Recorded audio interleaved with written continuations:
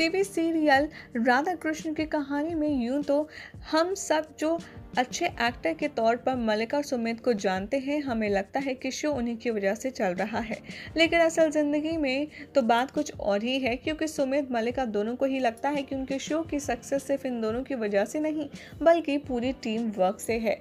और सामने आए हैं कुछ ऑफ़ स्क्रीन सेलिब्रेशन जिसमें मलिका ने इन दो शख्सियत को बताया है अपने शो का पिलर और उनकी बर्थडे सेलिब्रेट करते हुए। कैसे सुमित और मलिका ने उनका ये दिन बनाया और भी ज़्यादा खास? चलिए आपको दिखाते हैं इस खास रिपोर्ट में।